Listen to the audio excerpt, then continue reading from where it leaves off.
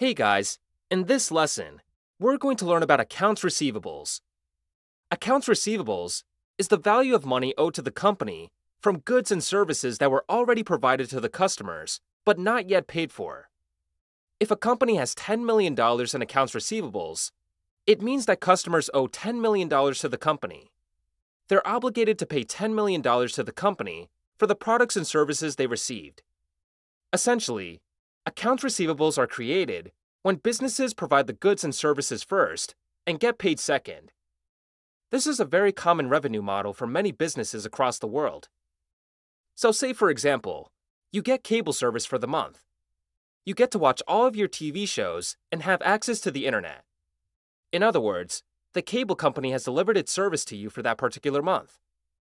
And then at the end of the month, they send you a bill asking you to pay. During this period between when the company has already provided its service to you and when it receives your payment, it will record the value of money you owe on the balance sheet under accounts receivables. It has already delivered the service, so it gets to recognize the revenue on the income statement. But recall that recognizing revenue and actually receiving cash payments are two completely different things. So while revenue is recognized for the value of the cable service provided, the cable company hasn't received cash from you yet. So the value you owe is recorded under accounts receivables. It obviously wouldn't make sense to record the money customers owe under cash and cash equivalents because the company hasn't received any cash from them yet.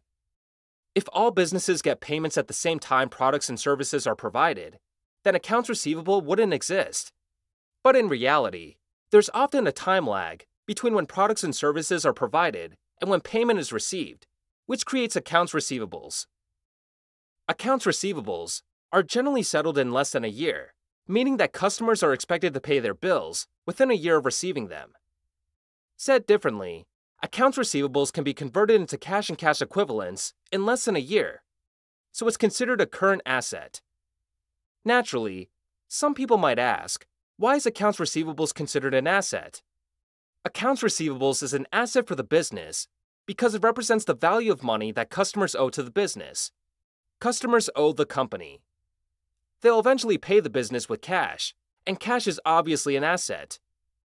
That said, the value of accounts receivables by itself doesn't really tell us much about the business. Instead, we have to use it to calculate ratios and changes in cash flow, which would impact our investment analysis. We'll learn how to do that in a later course. For now, the focus is on understanding what accounts receivables is, why it exists, and why it's considered an asset.